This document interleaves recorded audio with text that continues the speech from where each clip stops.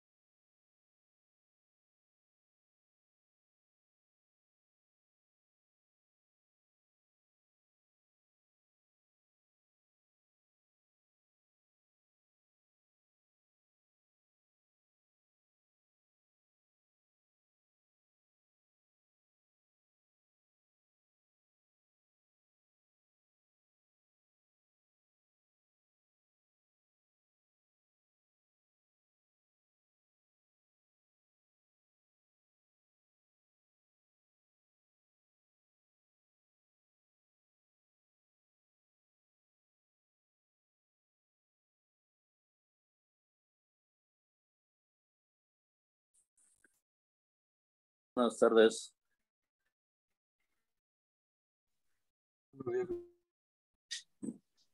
Tardes, profe. Buenos días, buenos días, ¿cómo están?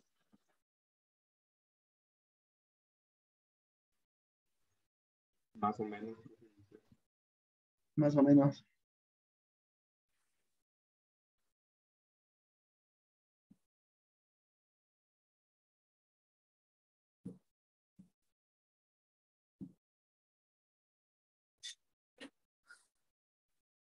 Muy bien, chicos.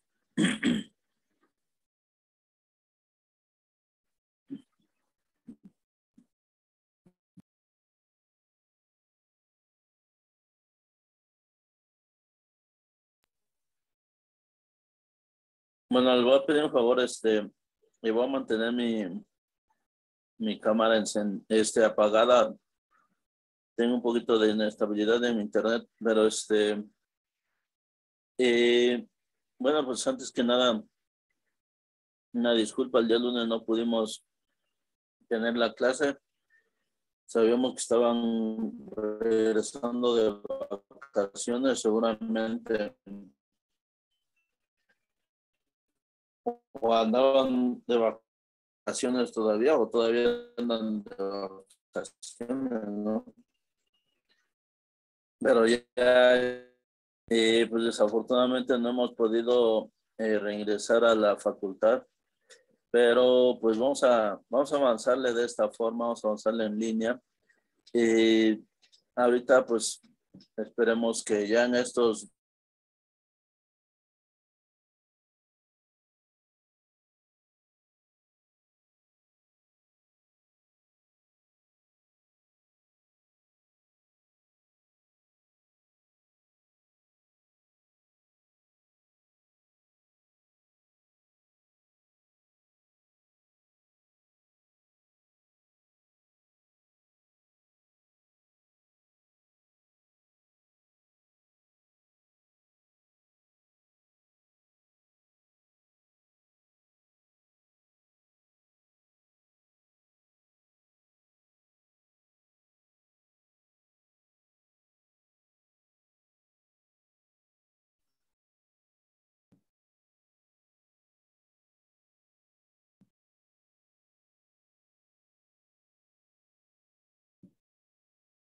Bueno, espero que me logren escuchar un poco.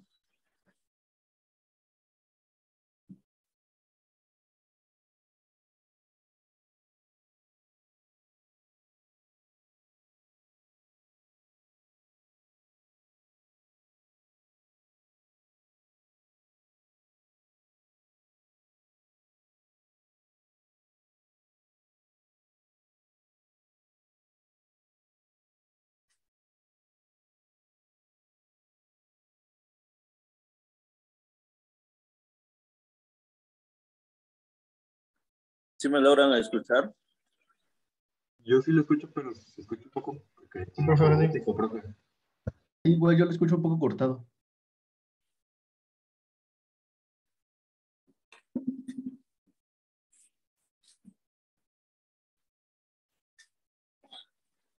Ok, bueno, les decía que vamos a, vamos a tratar de avanzarles. Sí, tengo un poco, este, un poco baja la señal, pero esperemos que no, no interfiera. Este, vamos a ponernos un poco en contexto. Quiero mostrarles algunos, algunos videos por lo mientras, en lo que, este, a ver si se va restableciendo este, la parte del internet.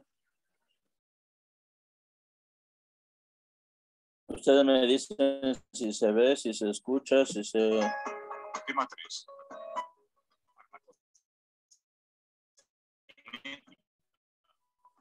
Distribución. si se escucha. Más o menos. Más o menos se escucha. Sí, pero se está cortando.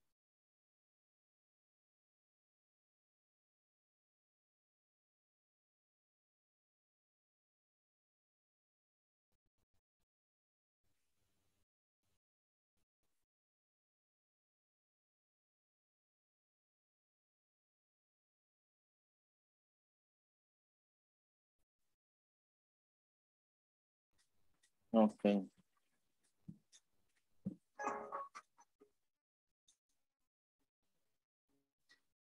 La distribución es el reparto del fármaco por el organismo y permite su acceso a los diferentes órganos donde va a actuar o va a ser eliminado. Además, la distribución del fármaco condiciona las concentraciones que alcanzará en cada tejido. Cuando se precisan efectos en áreas especiales, como por ejemplo, la distribución adquiere una especial relevancia. También permite explicar el retraso en el comienzo de la acción de algunos fármacos o la finalización del efecto de otros. El fármaco en el plasma puede viajar de forma libre o unido a proteínas plasmáticas. La mayoría de los fármacos se une a la albúmina, aunque también puede unirse a otras proteínas como la alfa-glucoproteína, la transcortina o los propios hematíes. La unión de los fármacos a proteínas plasmáticas es muy variable, haciendo que el porcentaje de fármaco libre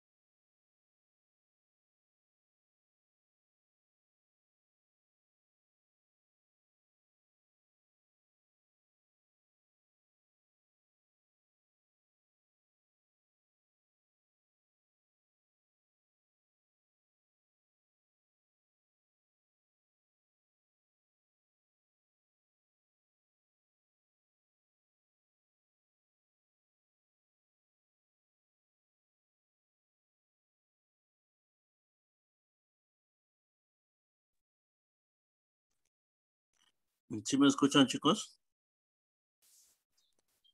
Sí. Ok.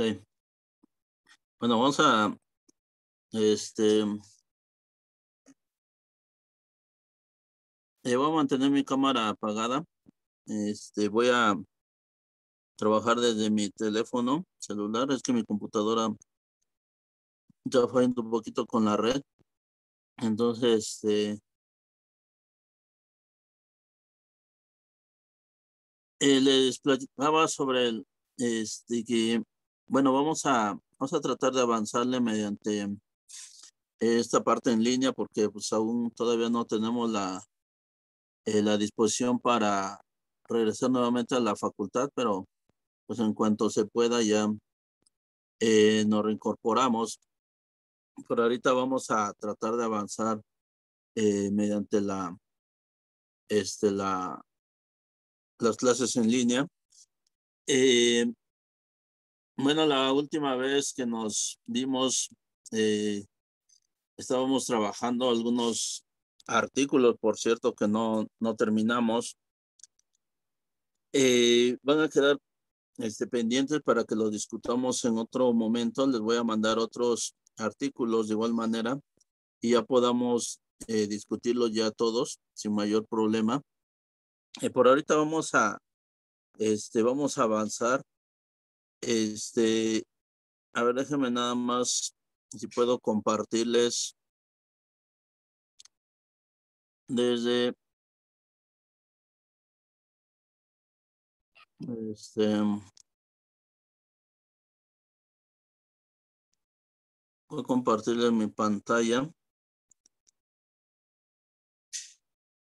y a ustedes me dicen si se ve o no se ve voy a abrir mi los documentos que tengo en el drive no sé si ya se observan la parte de las diapositivas que hemos estado viendo. No, maestro, yo veo nada más el menú. Ah, ya. Bueno, ya, ya se ve. ¿Ya se observan las diapositivas? Ya, Sí, ya. ya se muestra. Ya. Ya. Ah, ok. Eh, si no mal recuerdo, antes que empezáramos a trabajar sobre los artículos, espero que ya los tengan todos listos, eh, nos quedamos en la parte del metabolismo de los fármacos. Entonces, eh, de hecho, ahorita quería mostrarles en la computadora algunos videos para, eh, para entrar en contexto con respecto a las, este, a lo que veníamos viendo de la distribución eh, parte del metabolismo. Pero bueno, todos tienen los, los videos los tienen ahí en el drive. Pueden verlos sin mayor problema. Si no, ahorita reviso. Si no están, ya los subo. Pero hay videos o pueden buscar videos en cualquier otro lado. Pero quería hacer, eh, quería mostrarles alguno para entrar este, en contexto ahorita. Pero bueno, vamos a avanzarle. Vamos a avanzarle que no, no por el hecho de que no se pueda mostrar un video o algo, nos vamos a detener, ¿no? Eh, Quisiera recordarles un poquito sobre la parte de los, del metabolismo de los fármacos. Eh, recuerden que estábamos viendo que el metabolismo eh, precisamente se refiere a los cambios que se van a generar del fármaco dentro del organismo a través de, de órganos, a través de órganos específicos como es el hígado, que es uno de los principales, pero no también este, no por hacer a un lado otros órganos, eh, donde también se metaboliza algunos fármacos, como es el estómago, como es el páncreas, como es el pulmón, eh, como son los intestinos. Entonces, parte de eh, los órganos que también van a intervenir en el metabolismo de los fármacos. Puede ser de una forma directa o puede ser una forma indirecta. Eh, cuando hablamos de una forma directa es cuando directamente el fármaco se va a metabolizar o se va a biotransformar con moléculas que son generadas dentro del mismo organismo, dentro de los mismos órganos, y de una forma, eh, llamémosle indirecta, cuando tiene que ver eh, por ejemplo, con algunas otras moléculas que sean independientes también a lo que es el sitio o el órgano. Por ejemplo, hablemos de alimentos que puedan intervenir y transformar a los fármacos en el, en el estómago, por ejemplo. ¿sí? Entonces lleva a cabo un metabolismo en el estómago, pero no tiene que ver directamente con la parte que produce el estómago, sino más bien es por lo que almacena en un momento dado, ¿no?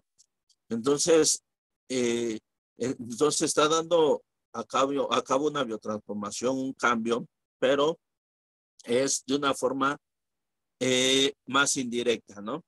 Entonces, eh, llamémosle que el metabolismo de manera general es el cambio o son los, este, las modificaciones que se van a dar en el fármaco que entra al organismo.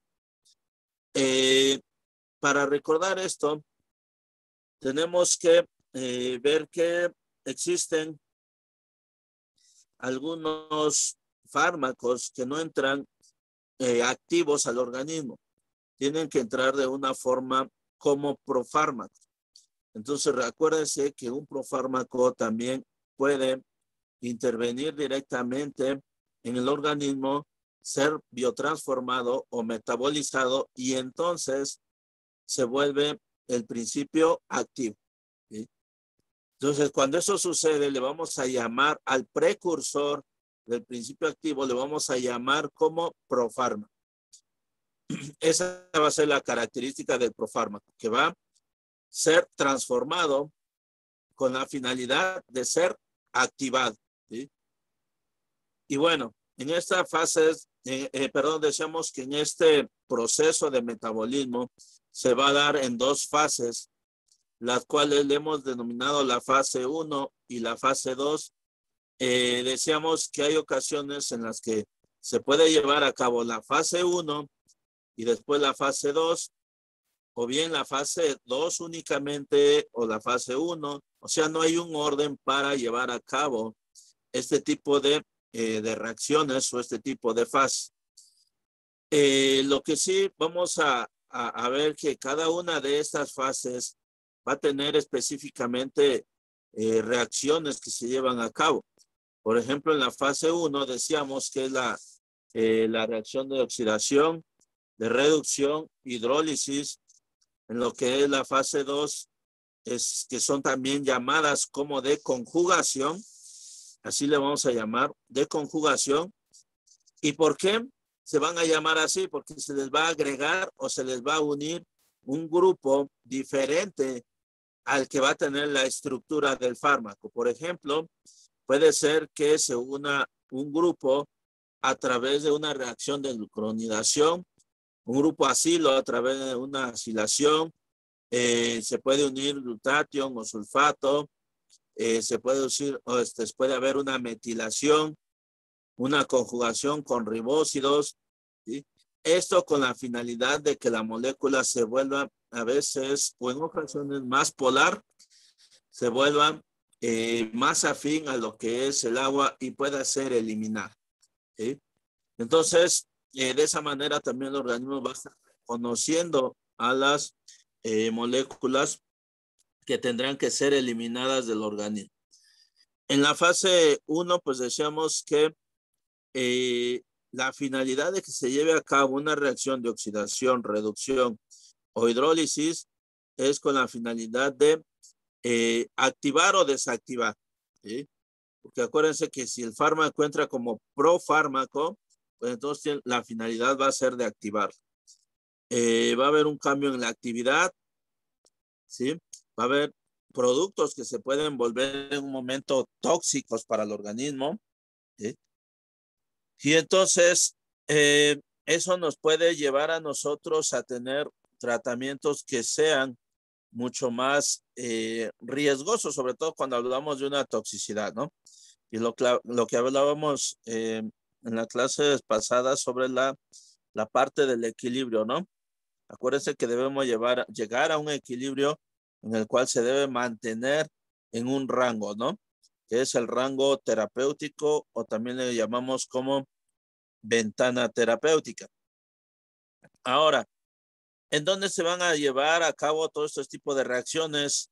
Pues ya veíamos que eh, se van a llevar principalmente en el hígado a través de un sistema oxidativo microsomal, que es el sistema oxidativo microsomal hepático, y que está conformado por una serie de enzimas que van a llevar a cabo tanto reacciones de oxidación, reducción, hidrólisis, y que en su conjunto a este sistema le vamos a llamar como citocromo P450. Y decíamos que eh, eh, es un, un, sistema, este, un conjunto de enzimas, las cuales son las encargadas tanto de eh, llevar a cabo reacciones de metabolismo de fármacos como reacciones de metabolismo de algunos otros compuestos como nutrientes que van a ser indispensables para nuestro organismo. Eh, dentro de otros, de otras este, compuestos, sustancias, moléculas que puedan entrar al organismo y que tienden también ser eh, metabolizadas o biotransformadas. Entonces también es donde van a estar interviniendo todas estas series de, eh, de enzimas y que en su conjunto le llamamos citocromo P450. La nomenclatura para, eh, para esta, para el citocromo P450, la nomenclatura viene desde CYP1 hasta CYP450. De ahí se deriva como CYP1A, CYP1B, CYP1C entonces hay subdivisiones o subclasificaciones que nos van a ayudar a distinguir a las principales enzimas que van a intervenir. Eh, solamente comentarles que las bibliografías y de acuerdo a las investigaciones que se hacen de eh, el metabolismo de fármacos, las principales enzimas que intervienen para el metabolismo de fármacos son aquellas que están entre la numeración o la nomenclatura de CYP1, CYP2 y CYP3, con sus clasificaciones de A, B y C. Eh, e y F, hay algunas hasta E y F. Entonces, son las principales para las reacciones de metabolismo en cuanto a los fármacos. Eh, bueno, de ahí teníamos una serie de, eh, de ejemplos en los cuales se llevaban a, cabo reacciones de eh, algunas reacciones ya sea de oxidación, de hidrólisis, de alquilación, de metilación. Y bueno, que ustedes iban a hacer los mecanismos de acción, de reacción, perdón, iban a hacer los mecanismos de reacción para identificar cómo realmente se lleva a cabo la interacción molecular entre el fármaco y las moléculas son las enzimas que en un momento dado intervienen para poder llevar a cabo alguna reacción, ya sea de fase 1 o reacción de fase 2 del metabolismo de fármaco. Bueno, algo, algo importante en este caso es eh, aquí donde nosotros nos habíamos quedado, que es en la parte de los factores que van a intervenir en el metabolismo de los fármacos. ¿Y por qué va a ser importante? Eh, ¿Por qué va a ser importante el metabolismo, este, perdón, los factores que van a intervenir? Eh, recordemos que eh, hemos venido platicando y hemos venido leyendo en algunos artículos de los que les di cómo son las interacciones entre fármacos, por ejemplo, cómo van siendo las interacciones entre entre fármaco y alimentos, cómo va siendo las interacciones entre fármaco y, y una, este, y la edad del paciente, cómo va siendo la interacción del fármaco y el mismo, este, eh, el mismo proceso biológico del, eh, del ser humano. Entonces, eso también va a ser importante dentro de esta parte o dentro de este proceso metabólico que nosotros estamos viendo. Eh, por ejemplo, aquí en lo que nos está mencionando la, el primer este factor, que es la edad, nos dice, eh, en este caso, la edad nos dice que en personas o en pacientes geriátricos y niños tiene disminuida la actividad metabólica. Eh, por ahí cuando hablábamos de este, algunos fármacos que se administran en, en pacientes pediátricos o en niños, decíamos que eh, por lo regular los medicamentos se van a recomendar a menores, perdón, a personas, o en este caso a niños que ya tienen una edad mayor a, eh, a los dos años. Eh, no se recomienda medicamento a, eh, a pacientes pediátricos que tengan menos de dos años, ¿sí? Inclusive si se puede a una edad de cuatro o cinco años, pues es mucho mejor. ¿Por qué? Porque, como dice acá, aún la actividad metabólica se ve, es, es muy baja, ¿sí? se ve disminuida. Y nosotros lo vemos, por ejemplo, en un recién nacido, ¿no? No podemos nosotros darle de comer inmediatamente a un recién nacido eh, o al año, por ejemplo, no le podemos dar cualquier cosa a los seis meses. ¿Sí? ¿Por qué? Porque en realidad no existe un metabolismo activo. Se tiene que empezar a, eh, a equilibrarse, empieza a adaptar el organismo ¿sí? y se empiezan a generar los, eh, precisamente esta serie de, de, enzimas que van a intervenir en el metabolismo para que pueda haber una buena eh, absorción, una buena degradación, una buena eliminación de lo que se necesita o no para el organismo. Entonces, eh, es uno de los principales factores. Ahora, en personas geriátricas o en personas de la tercera edad, de igual manera, hay una disminución en el metabolismo. Entonces, por lo regular, eh, en ese tipo de pacientes, eh, si se dan cuenta, ya es difícil también eh, que se manejen medicamentos que van a ser metabolizados o que van a ser este, biotransformados en un momento dado para tener alguna actividad. Entonces, como hay disminución en el metabolismo, pues vamos a tratar de evitar todas estas vías para poder eh, llevar a cabo metabolismo de fármaco. Entonces hay que buscar algunas otras vías, por ejemplo, la vía intramuscular, la intravenosa, eh, la vía, este, eh, bueno, pues alguna otra de las vías que no interfiera directamente en alguna parte del metabolismo. Ahora, por ejemplo, si el paciente tiene problemas hepáticos, ¿sí?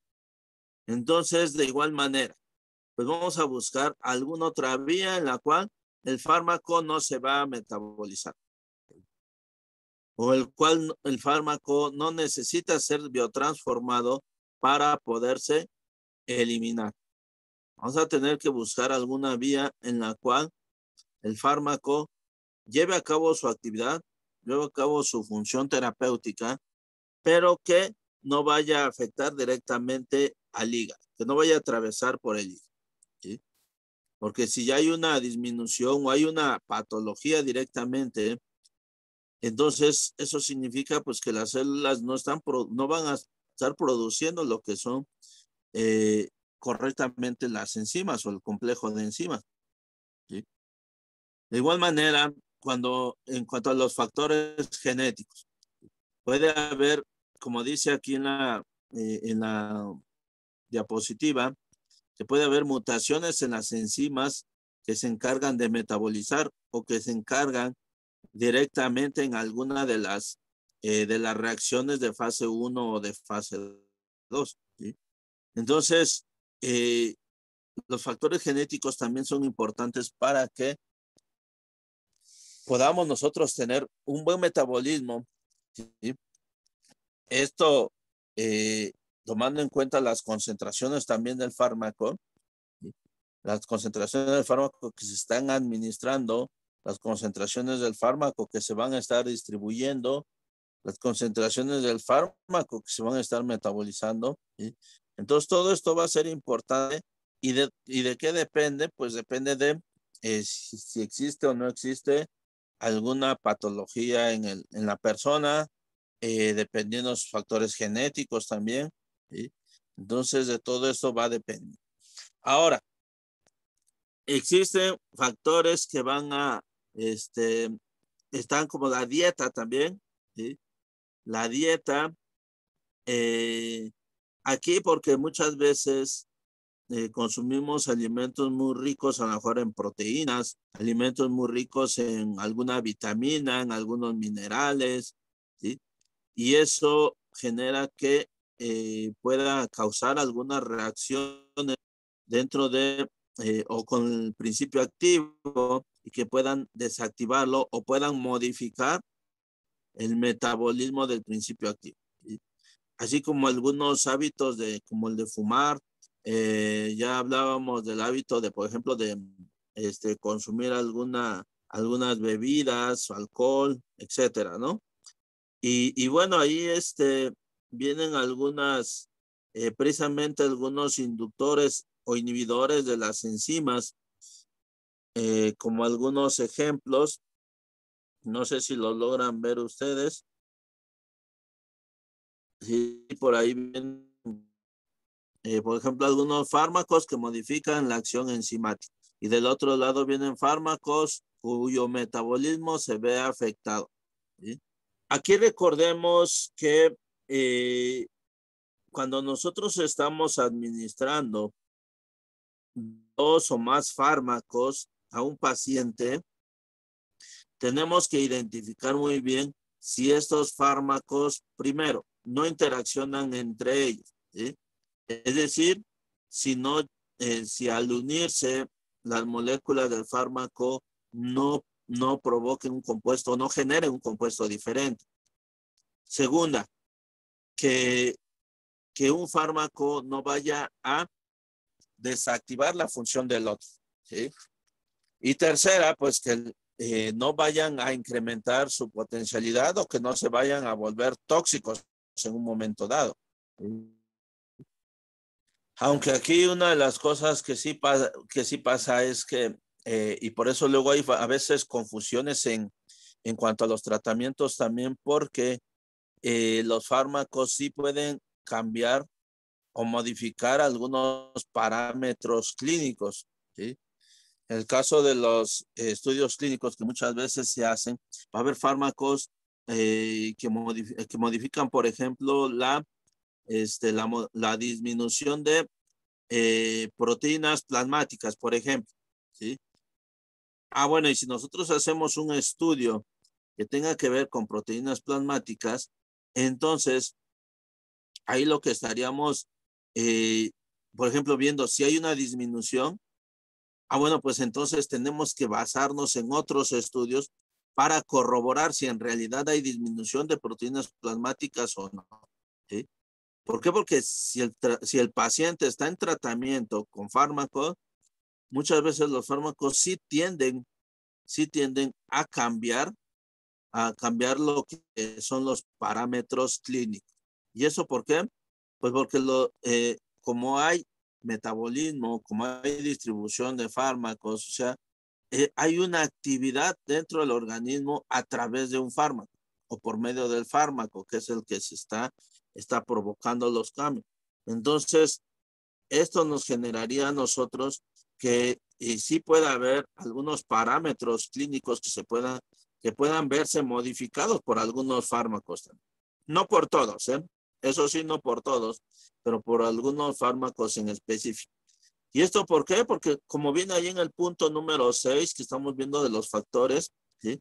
hay aquellos que van a inducir eh, producción de enzimas dentro del organismo y va a haber aquellos que van a inhibir también la producción de enzimas. Entonces, eh, acuérdense que a final de cuentas, y, seguramente ustedes lo están viendo en bioquímica metabólica, eh, muchos este, parámetros clínicos se miden a través de la cuantificación de enzimas. ¿sí? Entonces, eso, eh, si un fármaco está interfiriendo en esa, eh, en esa este, producción o inhibición enzimática, pues entonces al realizar un estudio, sí va a generar una modificación, ¿no? Entonces, eso es lo que nosotros debemos tener claro, que también los fármacos en un momento dado pueden cambiar los parámetros clínicos cuando el paciente está en tratamiento. Entonces, para ello, pues sí debemos eh, valernos de dos, tres o más estudios clínicos que en realidad nos, este, nos corroboren los datos, ¿no? Que nosotros estemos generando en un momento dado. Y por eso es que hay veces que sí se dan tratamientos inadecuados por lo mismo, ¿sí?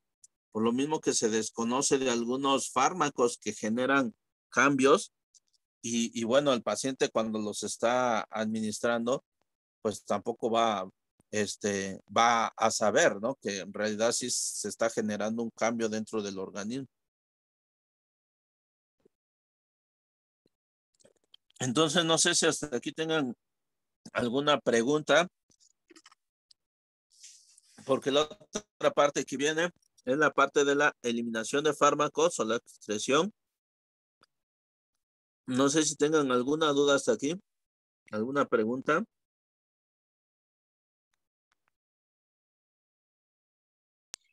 Eh, yo tengo una duda.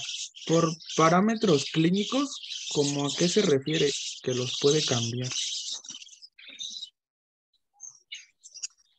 Ah, pues cuando, cuando me refiero a parámetros clínicos, me refiero, por ejemplo, eh, ¿qué miden en un perfil, por ejemplo, hepático, no? Todo lo que, eh, a ver, dígame, por ejemplo, en un perfil hepático, ¿qué es lo que mide? Vienen lo que son las bilirrubinas, Ajá, ¿qué más?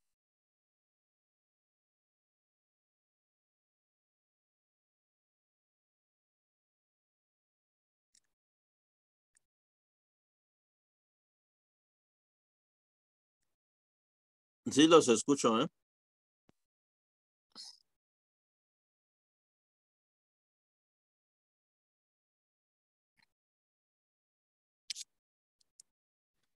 Eh, creo que se determina igual este Albúmina, Albúmina, bilirrubina. Por ejemplo, ahí, ahí nada más con, ah, sí, ya dijo ese. ¿no? ajá, bilirrubina, este, Transaminasa alcalina, por ejemplo, transaminasa alcalina, ah, fosfatasa alcalina, ¿cuáles son las lo que son las proteínas. ¿no? Lo que son proteínas, la, bueno, las proteínas totales, lo que son este, el AST, ALT y ALP, que es la fosfatasa alcalina, la alanina transaminasa y las paratoaminotransferasas. Ok, ¿qué función tienen esas enzimas en el hígado?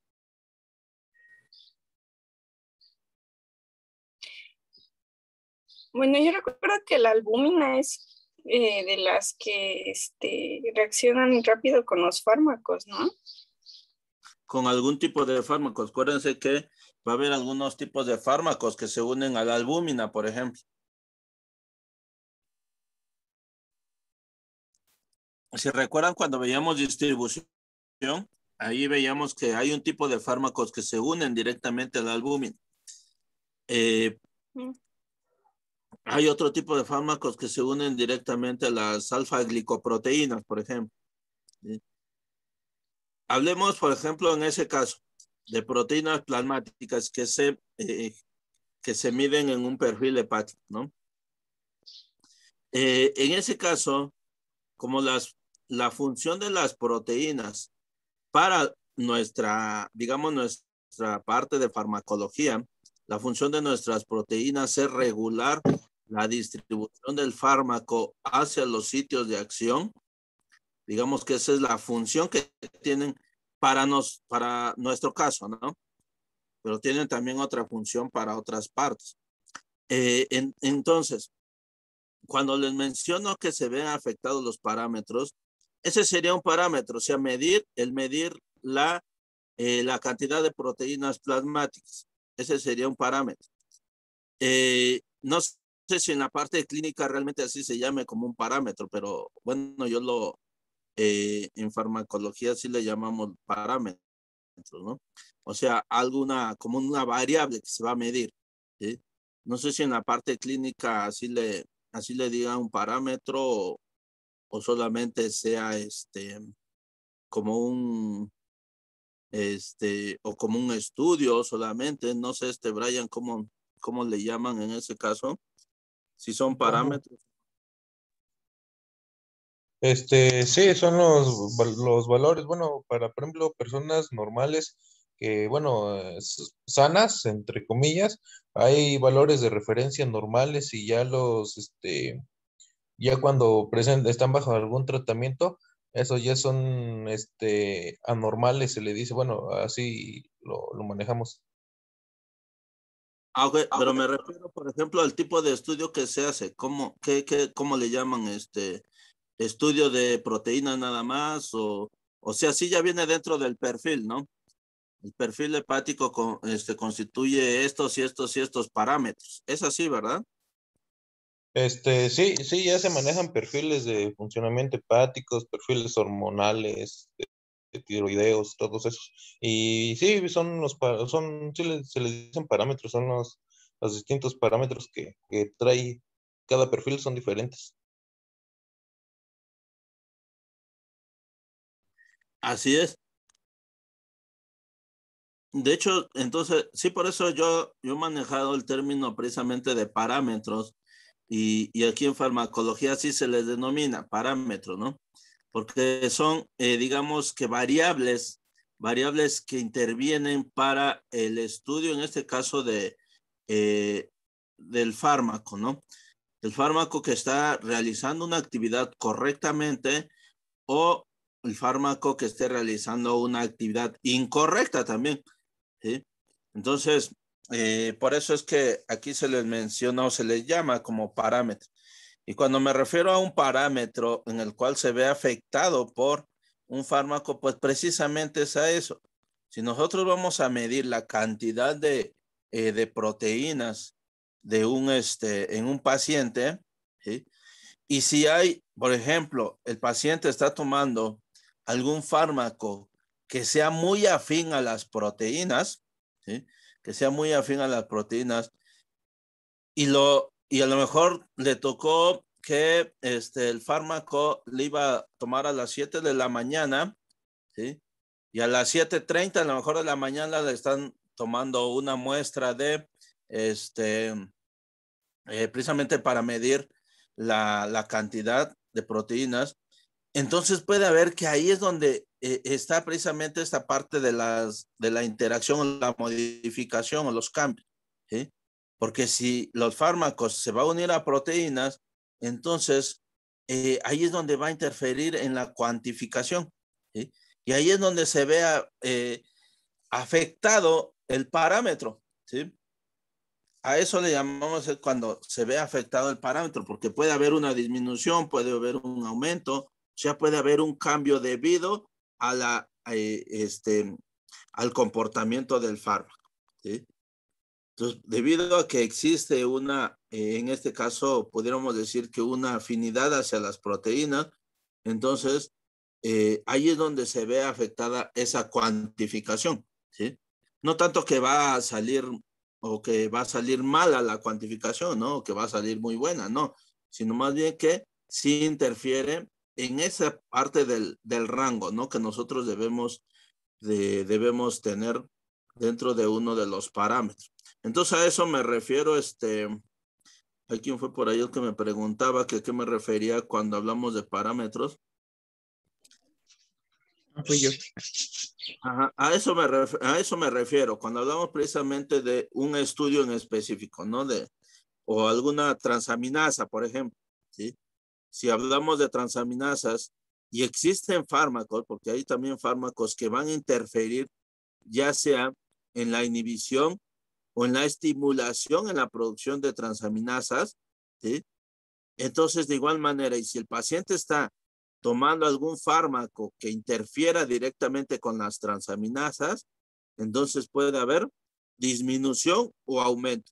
Pero ahí ya tenemos que estar a la par con el farmacéutico, el clínico, para identificar si en realidad el fármaco está haciendo la, eh, la actividad correcta de aumentar, por ejemplo, aumentar la producción de transaminasas o disminuirla, dependiendo cuál sea la, la finalidad.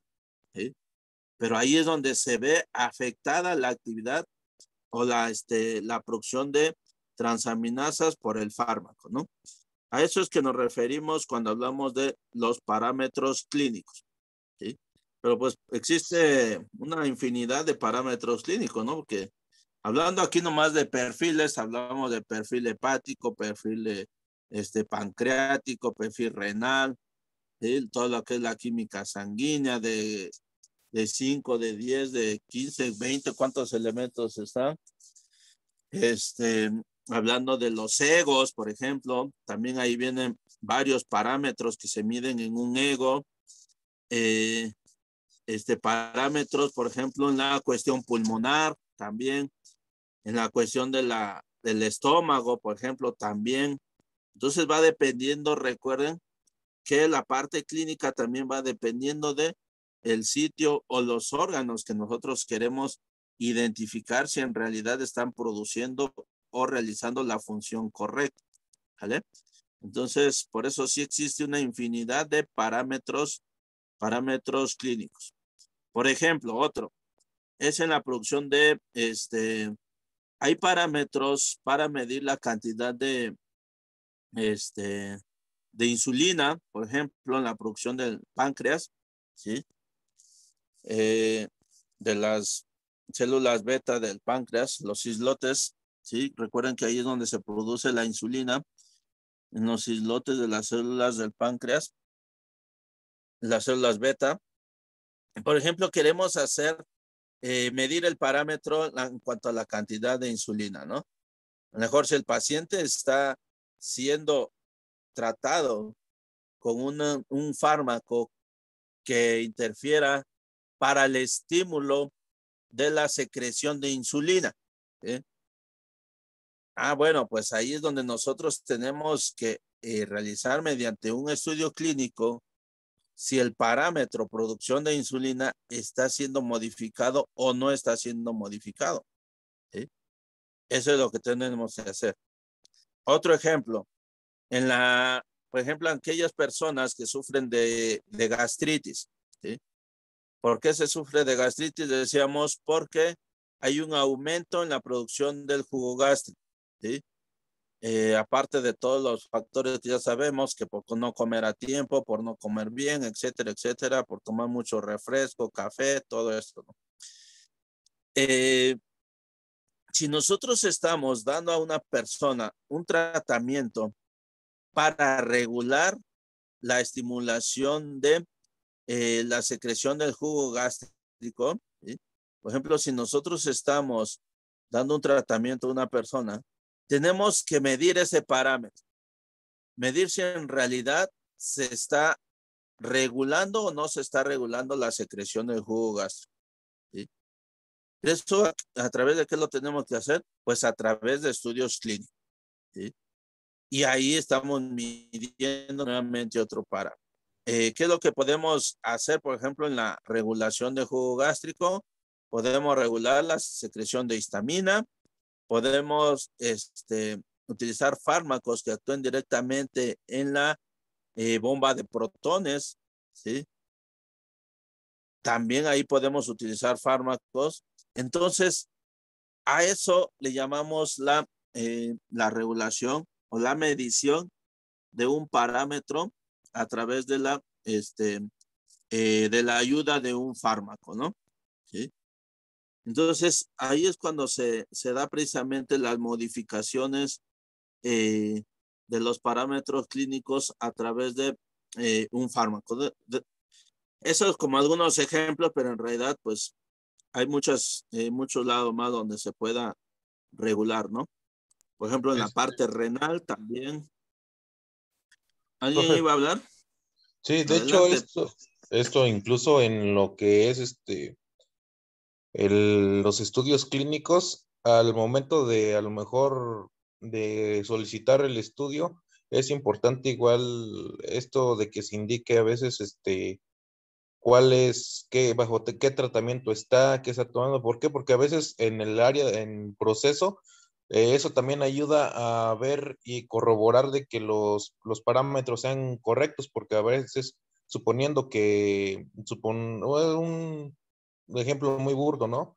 Una toma de, de anticoagulantes, ¿no? Para, supongamos, para, tiene un problema cardíaco el paciente, entonces a lo mejor el médico le manda a hacer lo que son este mm, sus tiempos de coagulación. Entonces, al, al momento de ser procesada esa muestra, eh, uno al checar el diagnóstico o el tratamiento del paciente, pues se puede dar cuenta más o menos de que dice, no, pues está tomando anticoagulantes, pues va a salir eh, alterado ese, ese, sus resultados van a salir un poco más elevados. ¿Por qué? Porque la sangre no está coagulando de la manera lenta como debería de coagular este, normalmente, ¿no? Incluso eso puede ayudar a, incluso si es el proceso de, del, del estudio es manual, pues quiere decirte que si te salieron, no sé, a lo mejor valores normales o abajo, cuando según el tratamiento, eh, el fármaco que, que, esté,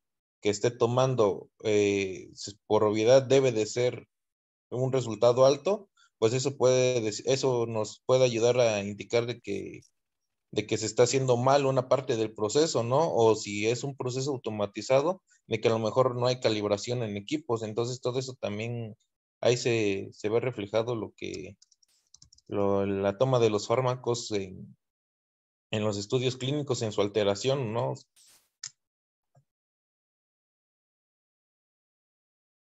Así es, tienes toda la razón, este, Brian.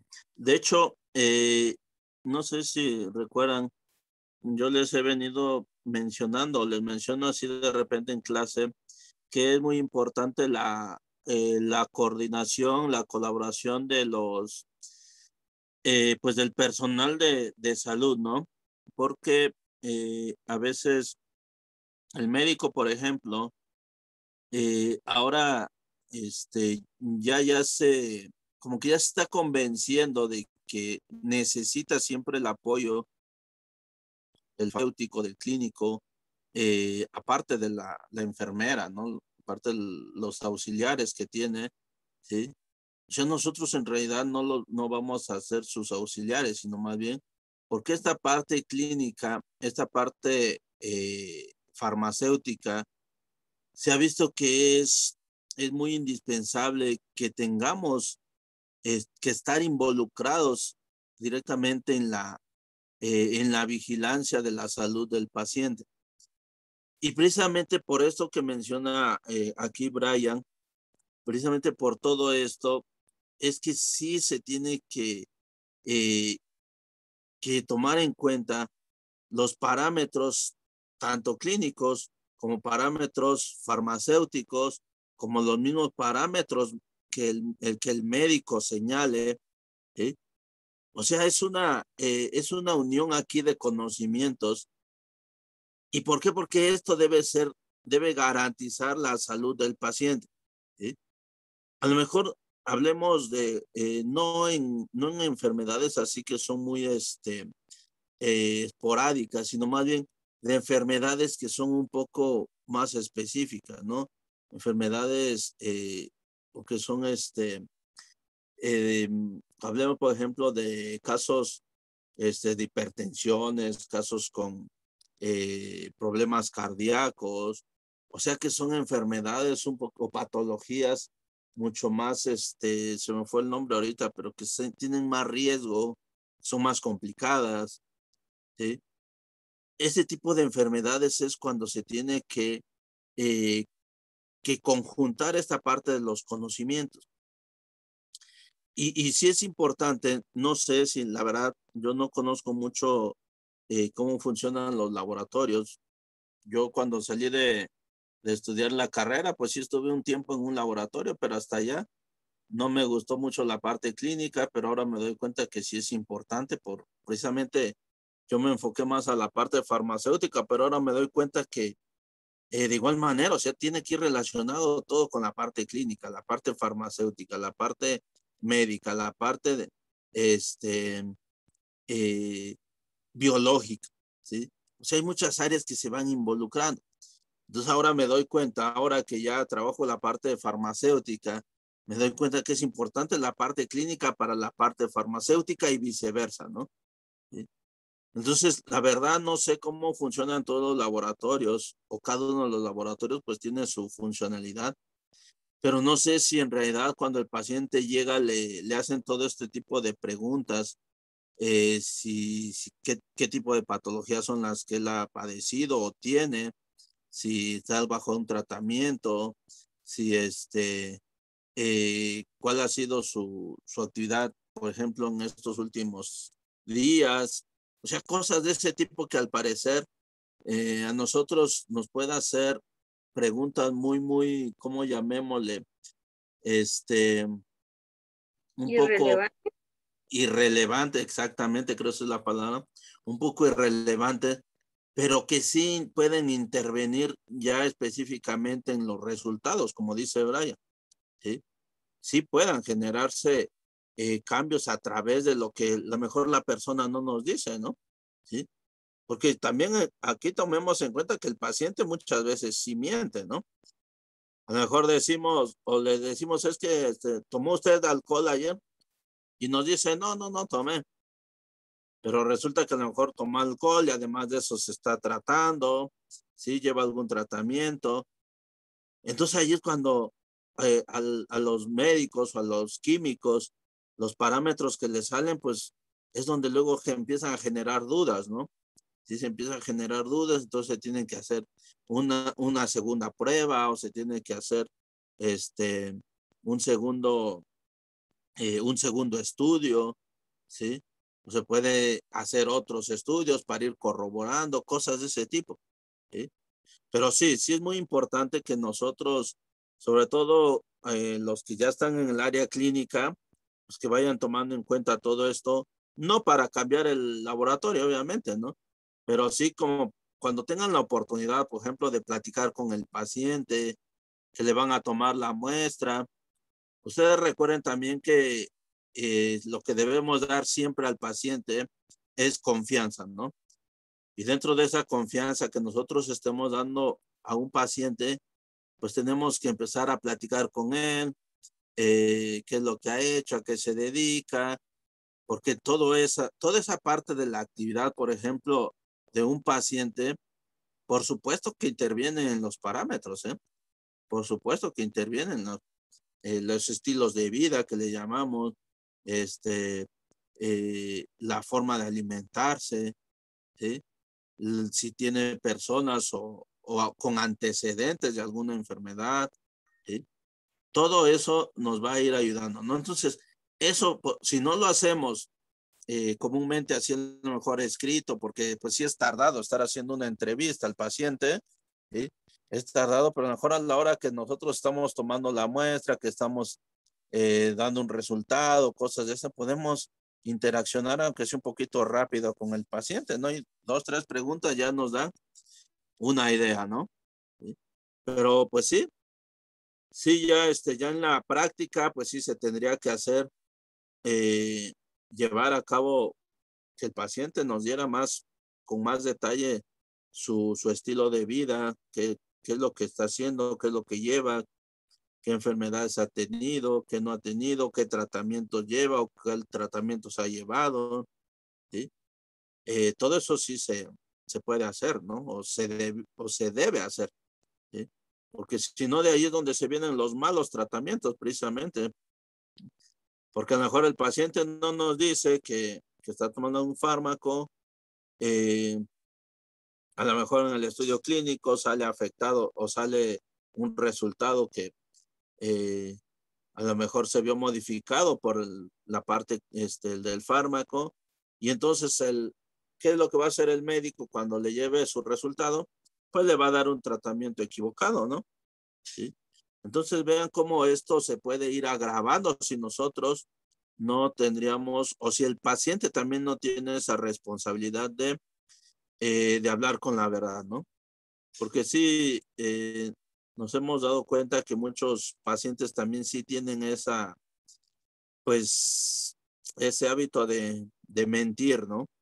O, o no sé si es por miedo o, o por qué, pero sí siempre se da también esos casos en los cuales el paciente sí, o sea, mucho depende de él, ¿no? Depende de él para que también se llegue a un buen, a un buen tratamiento.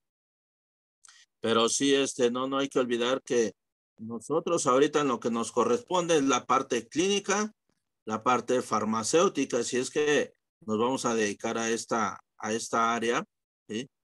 sea, no hay que perder de vista que porque nos guste la parte clínica, ah, no, yo ya dejo de lado la parte farmacéutica, ¿no? O porque me guste la parte farmacéutica, ahora yo ya voy a dejar de lado la parte clínica, ¿no? Entonces siempre hay que estar en, en comunicación al menos con algún amigo o algún conocido que sepa de la otra área para irlo relacionando y de esa manera pues vayamos llegando a resultados pues más concretos, ¿no? Y más específicos que puedan ayudar y aportar para la salud del paciente. Eso es lo que tenemos que, que trabajar mucho todavía porque en realidad sí, lo que nosotros hacemos como clínicos, como farmacéuticos, realmente es una parte nueva, ¿sí? Es una parte nueva, no lleva más de, no lleva más de 30, 40 años, ¿sí? O sea, no es que ya lleve una cuestión como la medicina, que ya lleva más de 100 años, ¿no?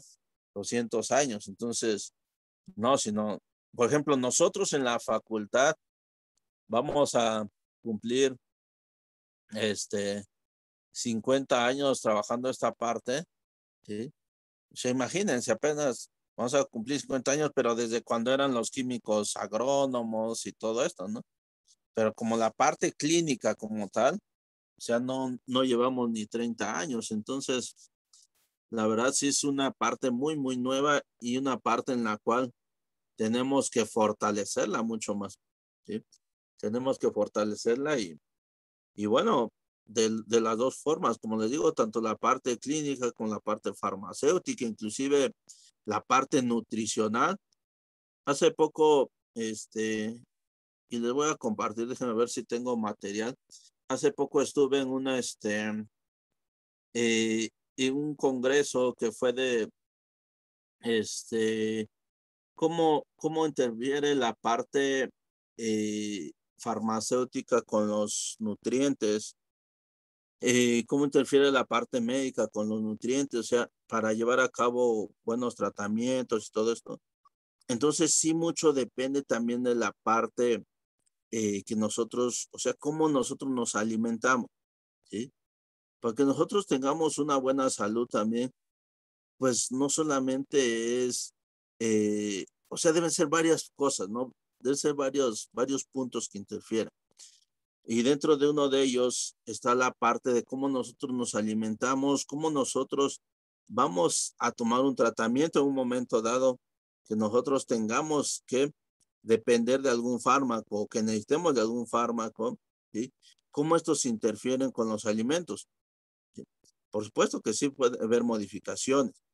Eh, si nosotros eh, buscamos la manera de, por ejemplo, alimentarnos correctamente, pues bueno, a la hora de, llevar a cabo un tratamiento, pues bueno, también los tratamientos van a ser adecuados, van a ser correctos, ¿no? Entonces, todo esto es un seguimiento.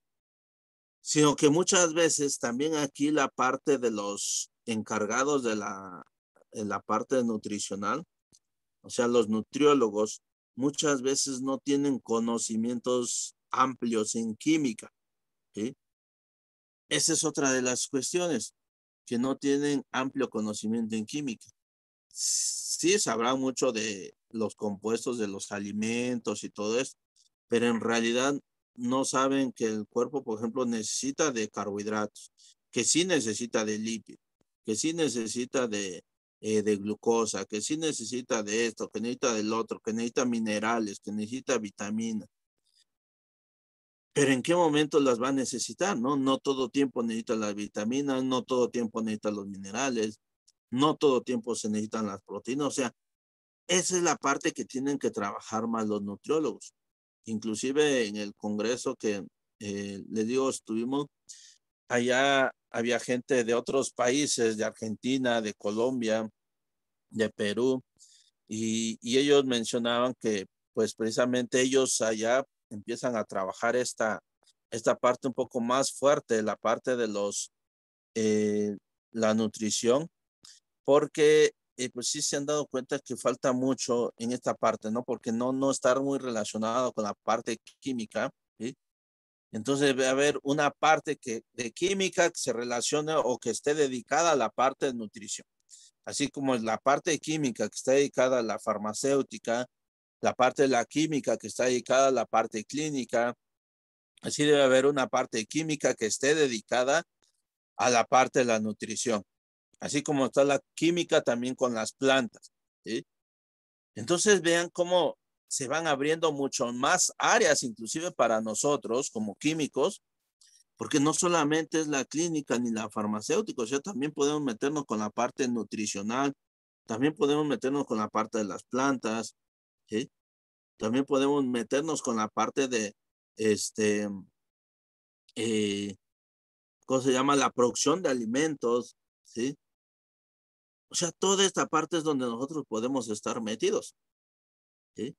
Entonces, eh, es parte de lo que nosotros tenemos que ir relacionando para que nosotros en un momento dado que tengamos eh, una buena alimentación, por ejemplo, ah, pues eso nos va a ayudar a reducir enfermedades, nos va a ayudar a reducir la producción de, este, de malas, eh, de malas, malos tratamientos, ¿sí? O sea, ahí, va, ahí es donde se va a empezar a regular toda esta parte. Pero pues bueno, es una cosa que tenemos que irla trabajando y, y es un área que está, eh, no está muy trabajada, es un área de oportunidad bastante amplia. Pero pues bueno, todo esto eh, para que ustedes también conozcan, sepan y, y pues se amplíe más su, la, la, la visión que uno tiene, ¿no? porque a veces como que nos cerramos un poquito en la parte nada más de, de una o dos áreas, pero no sabemos que sí podemos como químicos trabajar otras áreas más, ¿no? Pero bueno, esto como para complementar la parte que mencionábamos, que sí debe haber una relación, una relación de diferentes eh, conocimientos, vamos, de diferentes conocimientos para aterrizar en una sola cosa que es la parte de la salud de las personas, ¿no?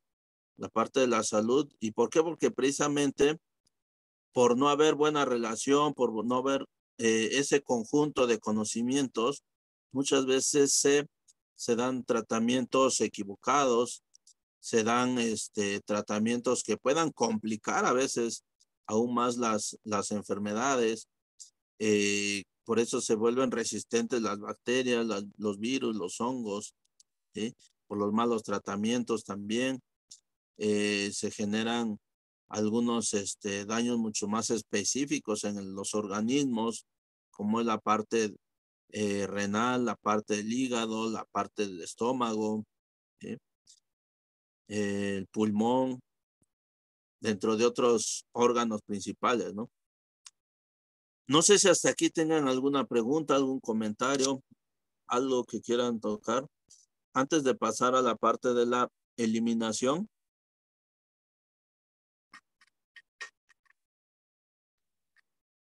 ¿Están o no están o ya se fueron?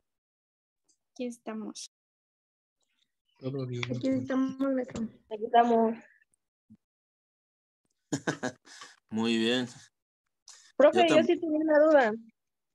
Adelante.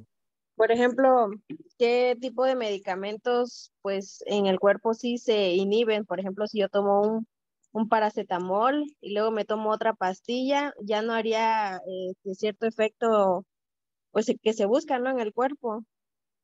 Como qué tipo de medicamentos se, pues sí, ¿no? Se cancelan entre sí. Ok. Eh, principalmente los que... Aquí miren, por ejemplo, aquí está una tabla.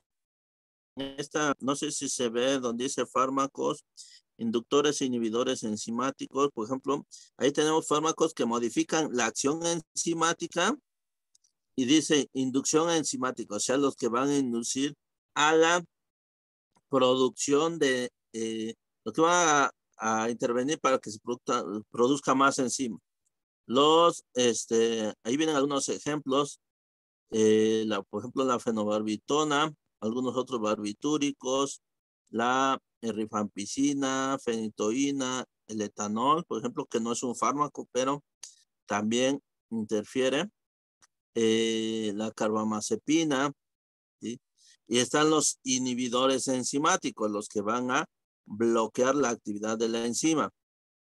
El, ahí está el alopurinol, la, el cloranfenicol, con los corticosteroides, simetidina, este, están las, seguramente por ahí se les van a hacer algunos fármacos conocidos, ¿no? Está la eritromicina, ciprofloxacino, están los fármacos cuyo metabolismo se ve afectado, vean. Ahí, por ejemplo, cuando dice fármacos cuyo metabolismo se ve afectado, es que es, pueden ser afectados ya sea por algunas moléculas que deriven de los nutrientes, por algunos otros fármacos, eh, por algunas, este, eh, algunas reacciones metabólicas que se den dentro del mismo organismo, ¿sí? Entonces, ¿cuáles son estos fármacos? Está la warfarina, eh, los anticonceptivos orales, la este, corticosteroides, eh, ciclosporinas, están las, a ver, los otros son la azatioprina, fenitoína, bueno, todos esos fármacos que están ahí son fármacos, digamos, que en un momento dado eh, pueden ser afectados o modificados en cuanto a su, a su metabolismo, ¿sí? Ahora, dentro de ellos, sabemos, por ejemplo, los de una forma más general, los que pueden ser más afectados, eh, por la pregunta que hizo su compañerita, pueden ser, por ejemplo, fármacos que son antibióticos, eh, fármacos que sean, por ejemplo, antimicóticos, eh, los antivirales, fármacos que actúen directamente en el sistema nervioso central, por ejemplo, fármacos que se utilizan para la epilepsia, fármacos que se utilizan para la este, eh, hipertensión. O sea, son de los tipos de fármacos, digamos, que eh, tienen mayor riesgo en sufrir alguna modificación en su, en su metabolismo y que puedan generarnos, digamos, eh, daños así como que más severos. Por eso se dice que son de mayor riesgo. Y si se dan cuenta, pues son fármacos que no se pueden, este, no están a la venta libre. Eh, no se puede dar a, por ejemplo, a personas menores de 18 años o menores de edad. Eh, cosas de ese tipo, no están más regulados, se le llama. ¿sí? Están más regulados precisamente porque tienen mayor, eh, digamos que existe mayor interacción, son más este, específicos y tienen mayor riesgo en cuanto a, a su uso. Entonces, por eso es que eh, digamos que son de los fármacos en los cuales pueden sufrir más interacciones en su estructura molecular. No sé si esa era la pregunta, este, o contesté otra cosa. No, sí, profe, contestó muy bien. Gracias. De nada. Profe, yo tengo otra pregunta. Este, ahí ahorita escuché que mencionó los fármacos, lo que son benzodiazepinas y barbitúricos.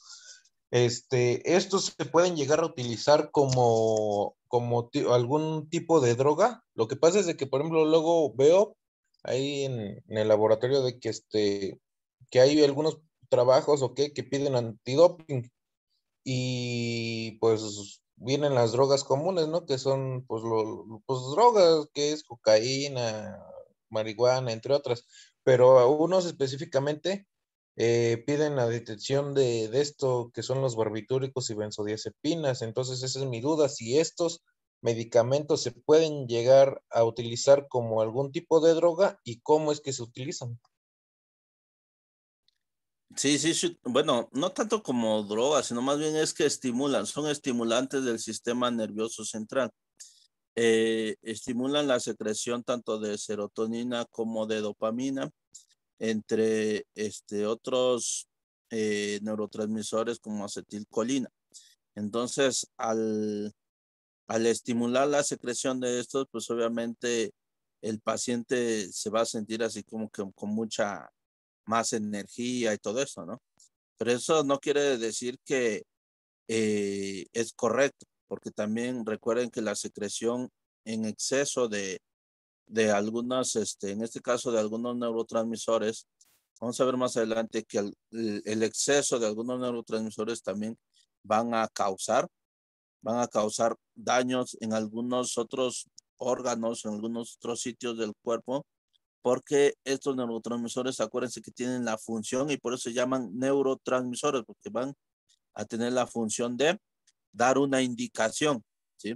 Dar una indicación y entonces ahí es donde se empieza a ver una mala regulación ya de, de un metabolismo, ¿sí? Entonces sí lo utilizan como una especie de, pues, no sé, no sé si llamarle droga o no, pero sí puede existir el abuso del, eh, del uso de este tipo de medicamentos por el tipo de, eh, digamos, de, de actividad que se crea, el tipo de estímulo que generan, por eso sí los utilizan eh, en este sentido, ¿no? Pero en realidad no, no, no podría decir si es una, mm, pues una droga como tal o no.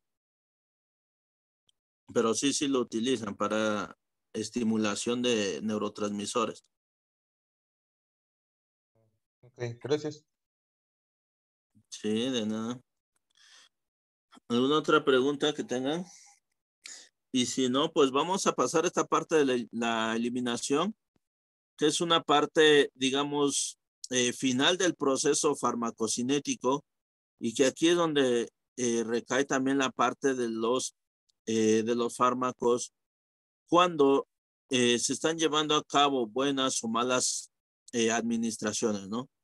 Entonces, hay un dicho muy común que todo lo que entra debe de salir. En este caso, hablemos de fármacos. Eh, un fármaco, pues, si nosotros lo estamos administrando a un paciente, pues tiene que eliminarse. ¿sí?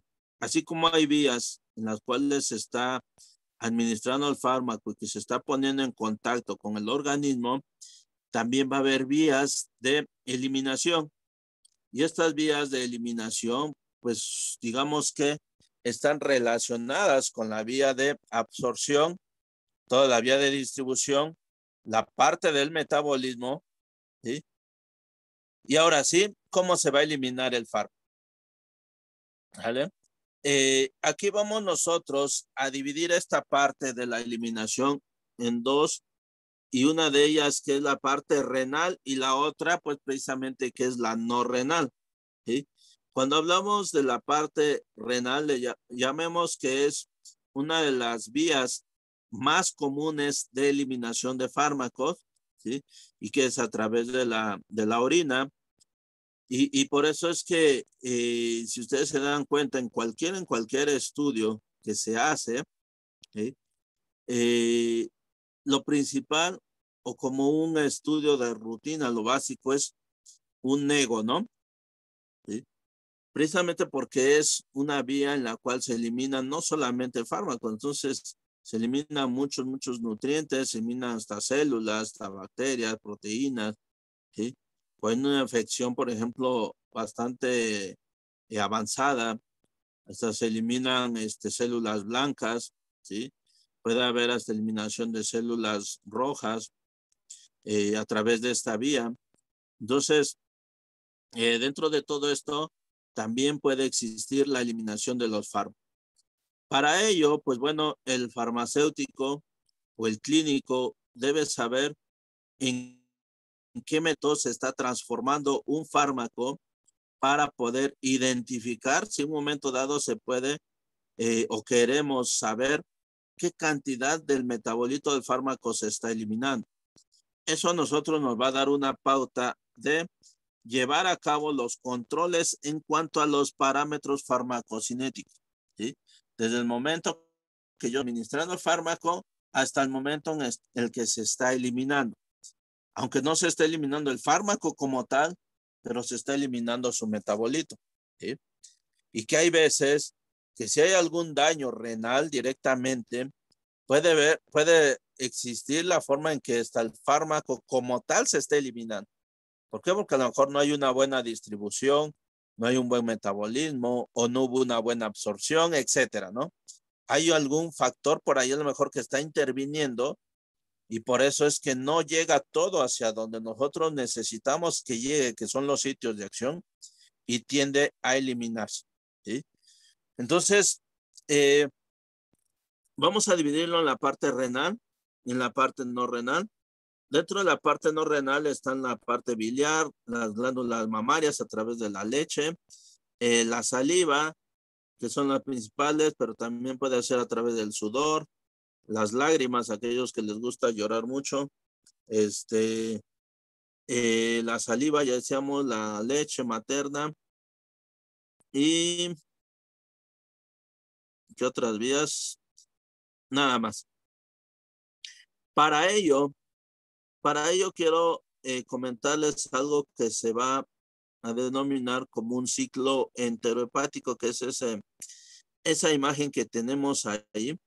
A lo mejor no se ve muy clara, pero voy a tratar de eh, explicárselas a qué se refiere y por qué está en esta parte de la, de la eliminación de fármacos.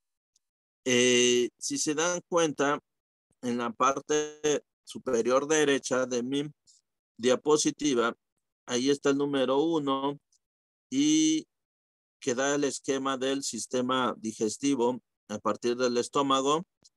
Está los, el intestino delgado y luego el intestino grueso y ahí van unas flechitas de color eh, naranja y de color azul. Las de color naranja se refiere a fármaco lipofílico, las de color azul se refiere a fármaco hidrofílico. Esto significa que hay una parte ahí, a ver, déjame ver si puedo rayar esto. Que sí le puedo hacer anotaciones. Ustedes me dicen si se va viendo las anotaciones o no. Eh, en esta parte, ¿sí? En esta parte de azul, que está ligado hacia la parte del eh, intestino delgado, intestino grueso, como ven ahí, dice que es la vena porta. Es la vena porta la que está conectada directamente con el sistema circulatorio y el hígado. Entonces, si ustedes recuerdan, cuando nosotros veíamos la parte de absorción, decíamos por ahí que, o la vía de, este, la vía de administración oral, era una de las vías las cuales eh, estaba expuesta al efecto del primer paso. Y precisamente por esto, porque hay una buena conexión entre el fármaco, este, perdón, entre el sistema digestivo, el sistema circulatorio y el hígado. Hay una muy buena comunicación o una buena interacción entre ellos. Entonces, por eso, la vía de administración oral está muy expuesta hacia la parte del efecto del primer paso. ¿Alguien me quiere recordar qué es el efecto del primer paso? Carito, ¿estás por ahí, Caro?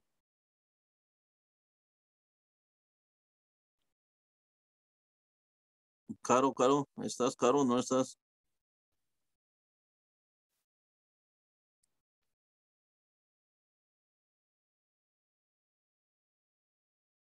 ¿Alguien más me puede decir qué es el efecto del primer paso?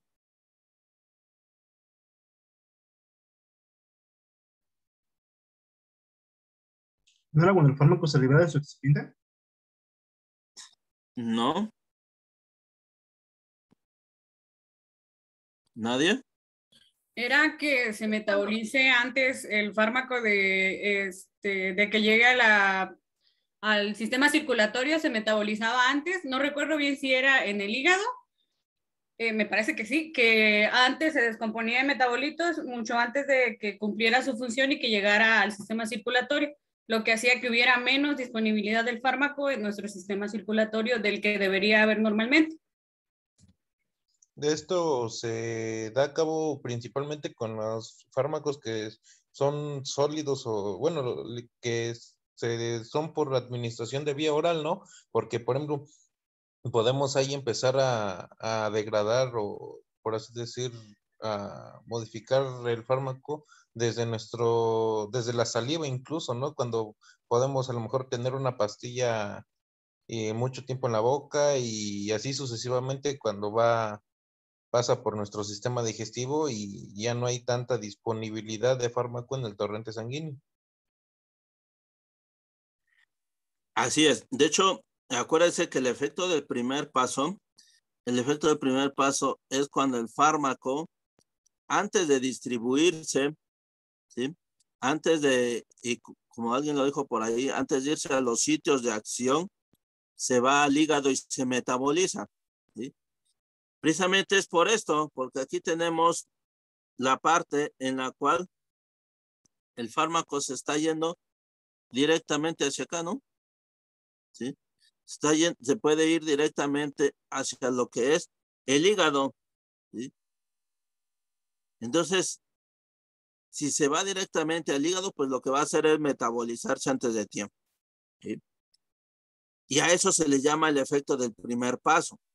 Entonces, muchas vías de administración, acuérdense que decíamos que una de las ventajas era eso, que evitaban, evitaban el efecto del primer paso, ¿sí? ¿Pero por qué? Porque eran otras vías diferentes a esta vía de, de administración que es la vía oral. Entonces, aquí, bueno, vamos a continuar con lo que estamos mencionando. Eh, cuando se da la administración por vía oral, eh, el va a depender del tipo de fármaco. Si este fármaco son hidrosolubles, son liposolubles. Entonces, van a tener la capacidad de llegar a lo que es, y si se dan cuenta, ahí tenemos algunos, algunos numeritos, por ejemplo, el 1, el 2, este, por ahí vamos a tener el 3, el 4. ¿Qué significa eso? Que cuando el fármaco entra al estómago, por ejemplo, en el número 1, se va, este, se va a distribuir hacia la parte del intestino delgado, el número 2, el número, este, en tanto el intestino delgado como el intestino grueso, pero va a tener a absorberse, va a tender a irse hacia lo que es la parte del eh, sistema circulatorio, y algunos van a tener que pasar por el hígado, como lo que es el efecto del primer paso. Pero ¿qué es lo que sucede en estos casos? Sucede algo que se llama como el ciclo enterohepático. Y se dan cuenta, aquí está la, el nombre, ciclo enterohepático. ¿Qué significa eso? Eso significa que un fármaco puede como hacer como una reabsorción, ¿sí? Hacer como una reabsorción. ¿Qué quiere decir esto? Que puede atravesar por el hígado, a lo mejor no se metaboliza todo, pero regresa lo que es la parte del, eh, del a través del sistema circulatorio, a través del, eh, nuevamente a lo que es la vía del intestino y poder reabsorberse nuevamente. Entonces, por eso se da a cabo ese tipo de, eh, de ciclo que se llama como un ciclo enterohepático. Y aparte va a haber va a haber este parte del compuesto o de los metabolitos que sí ya se van a poder eliminar. Y aquí está, se van a poder eliminar por la vía renal en este caso. Pero ¿cuál va a ser aquellos que sí se van a poder eliminar? Vean, los que están de azul. Y los de azul son aquellos que están, que son, tienen una característica hidrofílica. Ahí está. Entonces, a eso se refiere esto que se llama como el ciclo enterohepático. Vuelvo a repetir, se da en aquellas administraciones por vía oral. Eh, va a depender del tipo de fármaco que se esté administrando, si es un fármaco muy hidrosoluble o es un fármaco muy liposoluble, que va a poder atravesar, eh, llegar a lo que es el sistema circulatorio, atravesar lo que es el hígado, y si no se metaboliza nuevamente, existe como una reabsorción y a través de esa reabsorción, una vez más, puede irse hacia lo que es el sistema circulatorio, ¿no? Sí. Se llega nuevamente a lo que es el intestino y, y se reabsorbe, ¿no? Entonces, por eso se denomina como un ciclo que va a estar relacionado entre la parte del hígado y lo que es la parte del intestino, este, el sistema digestivo. ¿sí? Ahora, ¿por qué, ¿por qué esto aquí en, el, eh, en la parte del, este, de la eliminación de los fármacos? Pues porque aquí va a depender, eh, les decía, del tipo de fármaco para que esto pueda ser eliminado o no. ¿Y por qué vía es la que se va a eliminar? Esta principalmente elimina por vía, por vía biliar, o este, perdón, por vía este, renal, ¿sí? Por vía renal.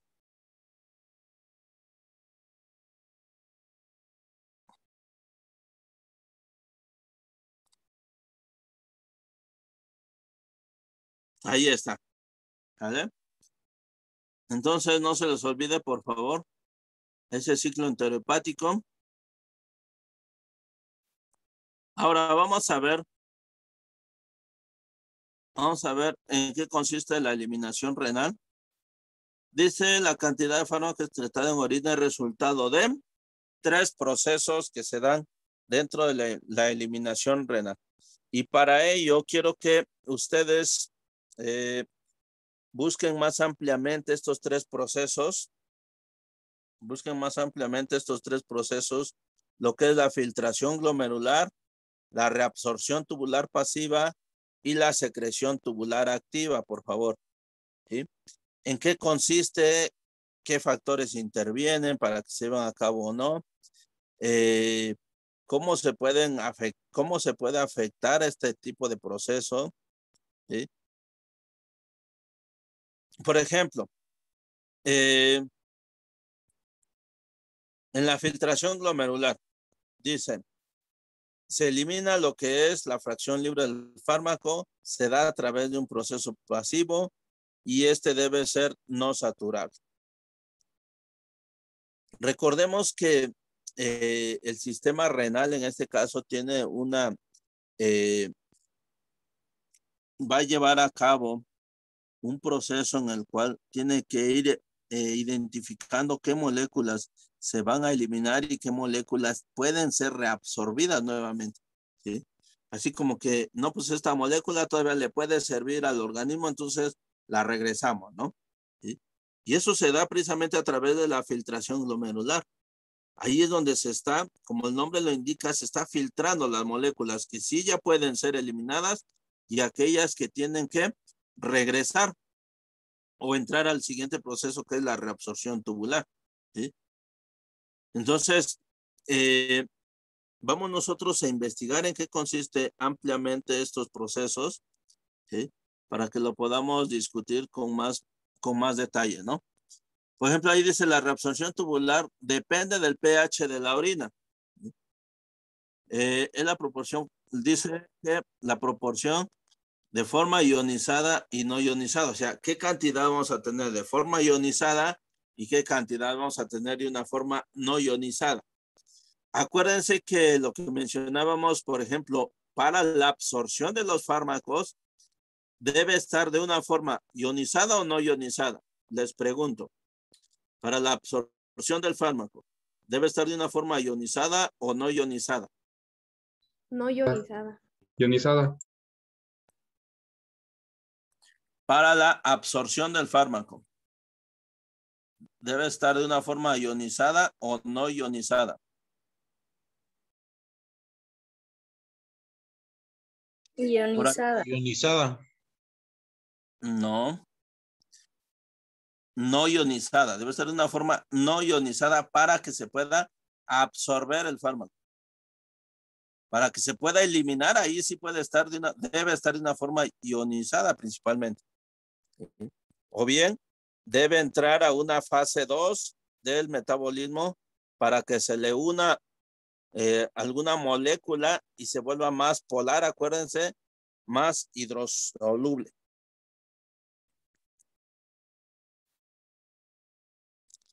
Abusados, ¿eh? Entonces, la modificación, por ejemplo, del pH en la orina eso puede eh, intervenir directamente en lo que es la reabsorción tubular. Por ejemplo, aquí dice modificación del pH urinario en tratamientos de intoxicación medicamentosa. ¿Eso por qué? Porque al modificarse el pH, al modificarse el pH, pues el, el fármaco no tiende a eliminarse, ¿sí? Tiende a reabsorberse, pero eso ya va creando una intoxicación. La otra, en la secreción tubular activa, se lleva a cabo en la fracción libre del fármaco y también aquellas que estén unidas a proteínas plasmáticas. Existen sistemas de transporte para aniones y cationes e inhibidores de estos transportes. Eh, en este caso, estos tres procesos que se llevan a cabo eh, dentro de lo que es el sistema renal va a depender mucho de cómo el fármaco es, se encuentra. O sea, se encuentra de una forma libre, se encuentra de una forma unida, y si se encuentra de una forma unida, bueno, ¿a qué se está uniendo? ¿Sí? Se está uniendo a una molécula, a, a una proteína, se está uniendo a otro fármaco, eh, se está uniendo a una enzima. ¿A qué tipo de molécula es la que se, se va a estar uniendo? O sea, mucho va a depender de ello para que se lleve a cabo alguno de estos procesos, ¿no? Entonces, por favor, hay que, hay que leer bien, hay que leer estos. Este, hay que buscar, perdón, información para estos tres procesos. Hay que leerlos ampliamente. Ahora, los, los factores que van a modificar la excreción renal es la insuficiencia renal, disminución de la perfusión renal o insuficiencia cardíaca, edad en, en la, por ejemplo, en personas ya con una edad avanzada, disminuye el, eh, la eliminación por vía renal. Bueno, aquí el aclaramiento, el aclaramiento se, se dice que es un aclaramiento renal porque eh, es la cantidad de, digamos, de filtración que se lleva a cabo en el riñón. ¿sí? A eso se refiere. Eh, vamos a tener competición en el transportador, las modificaciones de pH, que era lo que se mencionaba. ¿sí? De ahí tenemos las excreciones o eliminaciones no renales, que está la eliminación biliar. Eh, se, se eliminan fármacos de elevado peso molecular y principalmente aquellos que tienen una característica lipofílica. Es a través de un transporte activo. Eh, existe la posibilidad, vean, aquí está, de la circulación, lo que hablábamos, la circulación enterohepática, ¿sí? Entonces, eh, para ese tipo de, digamos, de eliminación es donde se lleva a cabo en mayor frecuencia lo que es la, este, el ciclo enterohepático, ¿sí? es una de las características por el tipo de, eh, de moléculas que tienden a eliminarse por esta vía. Ahora, en cuanto a la creación, este, perdón, eliminación por eh, glándulas mamarias o a través de la leche, se eliminan principalmente fármacos este, por una forma pasiva. Eh, por lo regular es poca la, la, concentración del fármaco que se elimina por esta vía. Eh, existe una mayor difusión si hay mayor liposolubilidad del fármaco, si los fármacos en este caso son básicos, eh, y fármacos, bueno, ahí viene una relación de fármacos que tienen efectos significativos en el, en el lactante, en este caso como el cloranfenicol, tetraciclinas, fenitoína, sulfamidas, que por ejemplo, si la, eh, la mamá en este caso que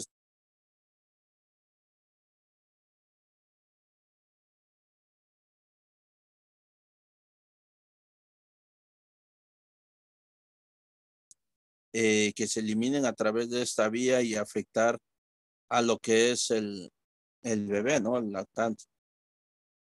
En cuanto a la secreción salival, este, es a través de difusión pasiva, depende del PKDA, eh, la solubilidad y la fracción libre del fármaco también, eh, principalmente en aquellos tratamientos que se dan para alguna infección orofaringea, eh, existe también alguna, o este, cuando se da fármacos para algún tipo de toxicidad, de igual manera.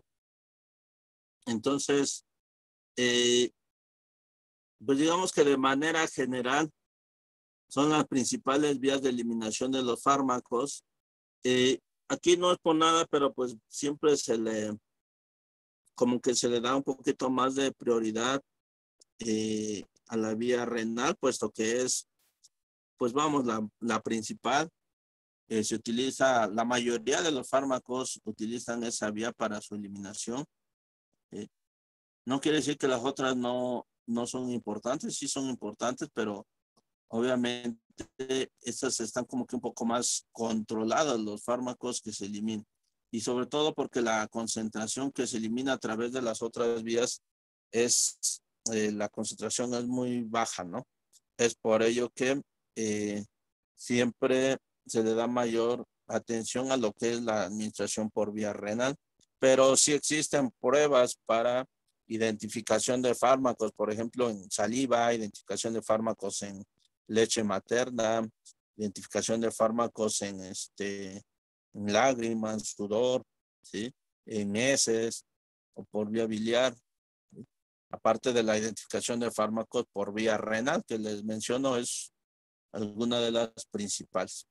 Entonces, eh, bueno, nos va a quedar pendiente esta parte de el aclaramiento de un fármaco. Vamos a ver qué es el aclaramiento, el tipo de vida media, la posología, las dosis múltiples. Y con esta parte estaríamos terminando la parte de que corresponde a la farmacocinética y nos vamos con la parte de farmacodinámica. No sé si hasta aquí tengan alguna pregunta y si no, de tarea, por favor, van a, este, bueno, ya les dejé esto, investigar las tres etapas, este, el proceso de, de reabsorción, de filtración, reabsorción y secreción. Eso lo van a investigar. Lo vamos a discutir en la siguiente clase. Y también, por favor, van a empezar a revisar todo lo que es la parte de farmacodinamia. Farmacodinamia, ¿qué es la farmacodinamia? ¿Qué son los receptores? ¿Cuánto, ¿Cuántos tipos de receptores existen? Y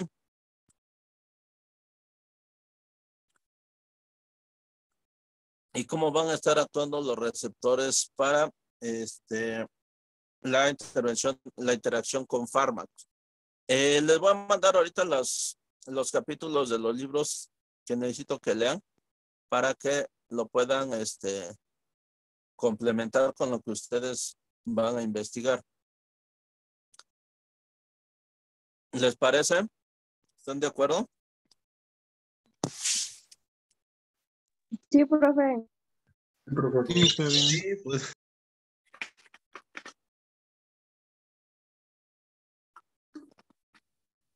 Bueno, entonces, ahorita en un momento más yo les mando este qué libros van a leer y qué capítulos para que ya puedan, podamos empezar la siguiente clase. Terminar esto que nos hace falta nada más de eh, un poco de farmacocinética y empezar con la farmacodinámica. Entonces, si no tienen preguntas, no tienen dudas, vamos a dejarlo aquí y nos vemos el día lunes, por favor. El lunes ya sin falta, este, ya estoy en clase.